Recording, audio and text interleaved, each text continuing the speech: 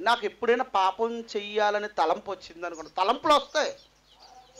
తలంపులు ఖచ్చితంగా వస్తాయి. తలంపులు నా హృదయం అనే బలిపేటం మీద నేను భస్మం చేసేస్తాను నేను తలంపులు అనేవి నా హృదయం అనే బలిపేటం ఉంటుంది. ఆ బలిపేటం మీద భస్మం చేసేస్తాను నేను.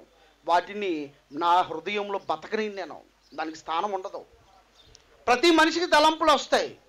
హృదయం అనేటువంటి బలిపేటంలో భస్మం చేయకపోతే నిజం చెప్తున్నా. నాకు ఎమ్మట్న గుర్తుకొచ్చేటువంటి ఒక విషయం ఏంటంటే మీకు జాగ్రత్తగా చెప్తాను జాగ్రత్తనంటే నిజంగా మీరు క్రైస్తవులు అయితే ఈ విషయం మీకు గుర్తుకు రావాలి. బూతులు ఆడుతున్నప్పుడు గుర్తుకు రావాలి. వ్యభిచారం చేస్తున్నప్పుడు గుర్తుకు రావాలి. తాగుతూ తాగుడు తాగుతున్నప్పుడు గుర్తు రావాలి. బయట రోడ్డు మీద తిరుగుతున్నప్పుడు గుర్తు రావాలి. ప్రతి క్షణం ఏ సమయంలోనైనా ఎప్పుడైనా గుర్తుకు రావాల్సిన ఒక్క విషయం చెప్తాను జాగ్రత్తగా అంటే ఉదాహరణకి ఓ మనిషి చనిపోయాడు. క్రైస్తవ సాంప్రదాయ ప్రకారంగా ఏం చేస్తాం? ఏం చేస్తాం? ఏం చేస్తాం చెప్పండి?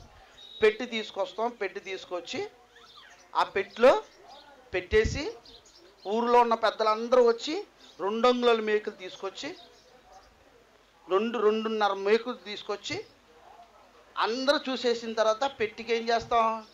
పారుచ్చుకునో లేకపోతే సుత్తుచ్చుకునో లేకపోతే రాయించుకునో గట్టి కొట్టేస్తాం. కొట్టేస్తామా? కొట్టేసిన తర్వాత ఏం చేస్తాం? ఐదు అడుగులు ఆరు అడుగులో గొయ్యి తీసి ఆ గోతిలో పాతేస్తాం. పాతేసి ఏం చేస్తాం? శుభ్రంగా అలికేస్తాం.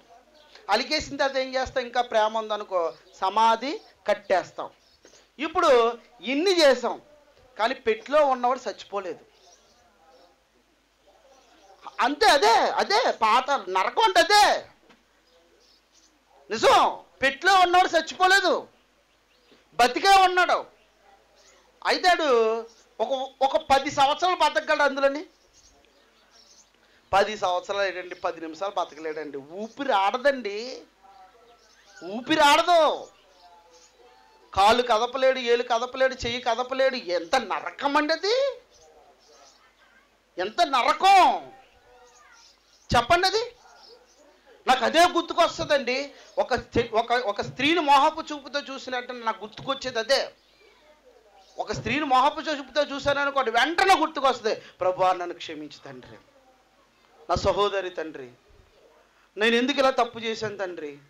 నన్ను క్షమించి తండ్రి. దీన్ని ఎటువంటి పరిస్థితుల్లో పైకి రానికి తండ్రి. ఇలాంటి తప్పుడు ఆలోచన నాకు వద్దు తండ్రి. ప్లీజ్ తండ్రి నేను వ్యభిచారం చేయను తండ్రి. ఆ భయంకరమైన పాతలాంటి నేను వెళ్ళను తండ్రి. నా భయం. భయం. పాతాళం అంటే భయం. ఎక్కడైతే నా ఆత్మ పాతాళానికి వెళ్ళిపోతుందేమో ఎక్కడైతే నా ఆత్మ వేదన గల స్థలానికి వెళ్ళిపోతుందేమో ధనవంతుడున్న స్థలానికి వెళ్ళిపోతుందేమో వెళ్ళిపోతే నా పరిస్థితి ఏంటి? ఎవరు రక్షిస్తారు నన్ను? ఎవరు రక్షించలేరండి ఆ సమయంలో. ఒక్కసారి మనసులో పెట్టుకోండి మనసులో పెట్టుకోండి ఎవరూ లేని ఆ చీకటి గదిలో అందులోని నీ సైజుకు తగ్గట్టుగా పెట్టి చేశారు. నీ సైజుకు తగ్గట్టుగా పెరి పెట్టి చేశారు. చేసిన తర్వాత నిన్న తిన్న పురుగు సావదట అసలు విషయం అది. నిన్ను తింటా చూడు. నేను తింటాది పురుగు. ఆ పురుగట చావదట బైబిల్ చెప్తుంది కన్న గర్భము వారిని మరుచును పురుగు వారిని కమ్మగా తినను.